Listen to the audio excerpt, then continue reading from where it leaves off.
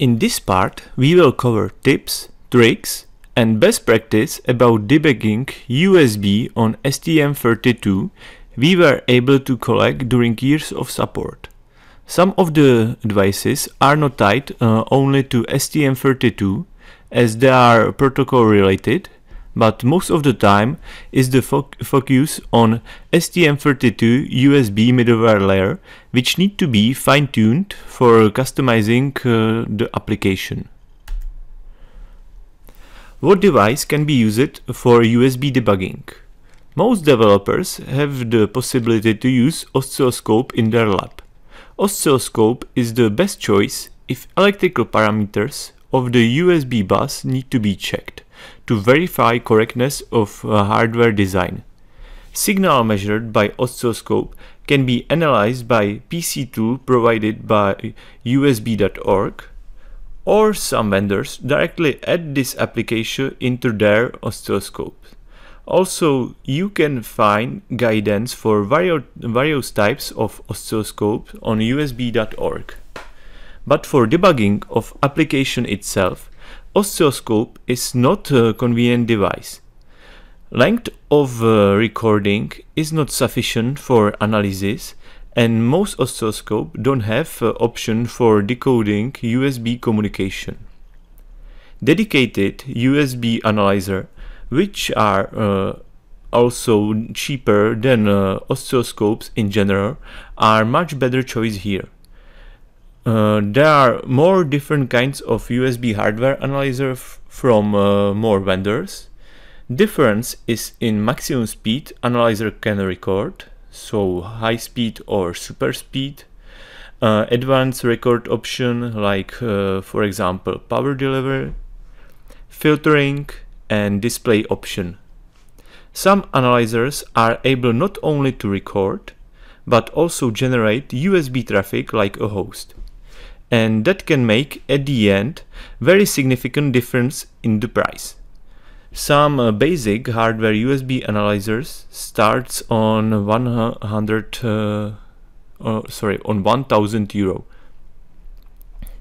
USB analyzer can uh, show all the details about the traffic on the bus, decode mes messages, show timing, so also here you can get uh, possible errors in descriptors and for example if you are not able to establish the communication between microcontroller and PC using uh, analyzer you will uh, discover where the problems come from using the USB analyzer.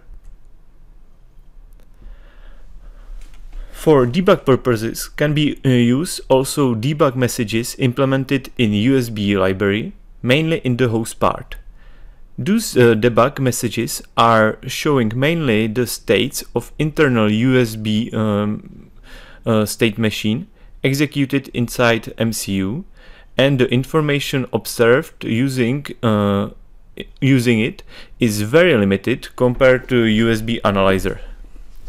Debugging using breakpoints and step, stepping uh, through the code is possible more or less only with uh, USB host, which is driving the communication and the device needs to follow its timing. But uh, for USB device, it's not convenient as the device, uh, device might be disconnected by the host when a uh, handshake on free consecutive uh, transfer is missed. There exists also software option for USB debugging like Microsoft Message uh, Analyzer or Wireshark, but as software tools goes through PCs, USB uh, hardware and drivers, timing is uh, either not uh, available or it's not reliable. On top of that, uh, some messages are not propagated. For example, uh, incomplete or corrupted uh, message may be missing and this may be crucial uh, to catch uh, during development. And if you are developing USB uh, host functionality, software analyzer on PC cannot be used and hardware one is only option.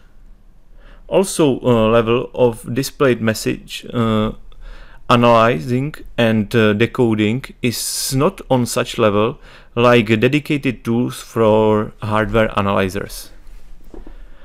Tricky point uh, with uh, developing USB devices uh, with uh, Windows PC we need to mention is product ID and vendor ID combination. Uh, as vendor ID and product ID shall be unique for each kind of functionality after successful enumeration, Windows saves setting of uh, the device into the register and next time uh, device with same, same vendor ID and product ID combination is detected, Inter information uh, obtained during enumeration are ignored. So, for example, if connected uh, USB mouse with uh, any combination of vendor ID and product ID um, is uh, successfully enumerated. And bit later you connect uh, for example CDC device with exactly the same combination of vendor ID and product ID like the HID before.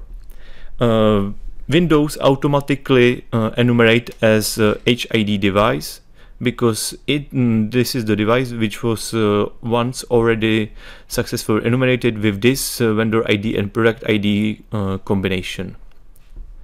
How to get dedicated vendor ID and product ID combination for the final device is covered in the USB driver chapter.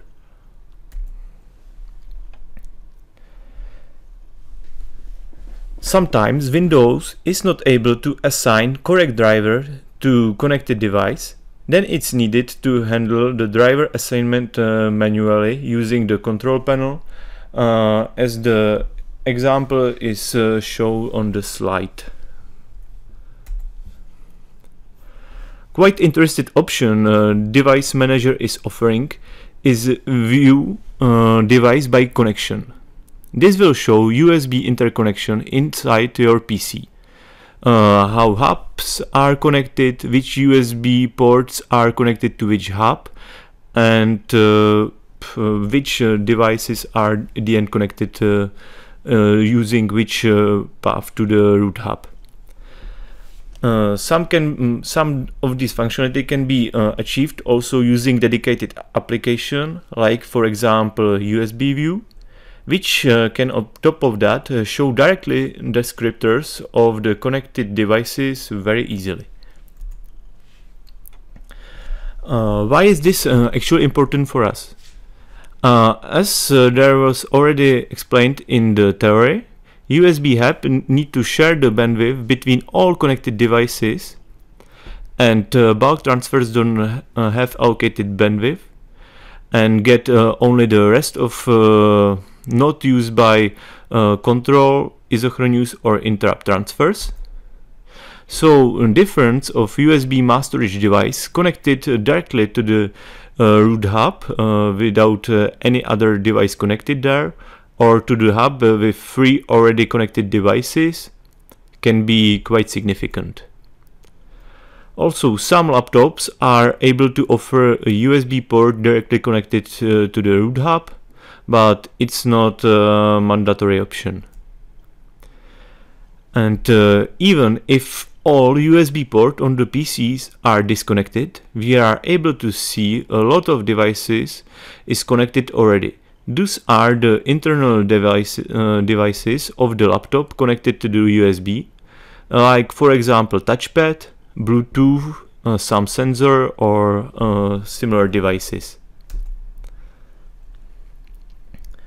Uh, there is also small mention about uh, debugging in the Linux environment uh, with the specific messages.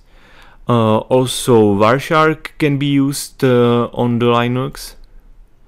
Um, but more exhausting information can be found directly on the web or on various web pages and forum also it's uh, expected that uh, Linux users are uh, already more or less familiar with the options the system is offering to them. Uh, here is a highlight of uh, commonly observed uh, problem from our support. First one is the list in on the list is small heap size. As you could see during hands-on, USB middleware in STM32 libraries use the dynamic allocation of the memory. So USB structures and buffers are stored in heap. And uh, for uh, some classes, default uh, CubeMX value, which is uh, 200 hexadecimal, is not enough, which uh, caused the failure at the end during connection. So users also, uh, some users also change the library in order to use static allocation instead of dynamic one for their end application. Uh, very end is the problem uh, with the driver in uh, Windows and uh, or lower as CDC uh, class uh, demands usage of the signed driver there. For development is enough to use unsigned driver and go through warning window during manual assignment of the driver but for release signed driver is mandatory. This problematic is also covered in USB driver chapter. Uh, with Windows 10, new driver and uh, policy uh, was introduced, so need, no need uh, for dedicated uh, sign driver anymore in this system, but uh, in product it will be still needed to keep compatibility with still very, very popular Windows 7 or 8. Another common problem is VBus sensing, which is uh, one of the UT, uh, OTG peripheral features. If not uh, considering OTG du dual functionality, VBus has two purposes. First, not so important, is to get 100% in line with USB specification, uh, which allows to have voltage on data lines of USB device this means uh, pull up resistor on D+, only after detection of host uh, VBus connection. More important reason to use VBus sensing is the capability to differentiate USB suspend and disconnection state. Mandatory it's mainly for self-powered device. In USB uh, library you need to uh, properly connect dedicated uh, pin before enabling uh, it in configuration. Uh, for the hardware connection and constraints connected to it, uh, to VBus, please follow the USB hardware chapter. As already mentioned in previous slides, also developing and uh, changing uh, functionality of the device with uh, some vendor ID and product ID combination without reinstalling driver can be tricky and cause not exactly present, uh, pleasant searching for the root case.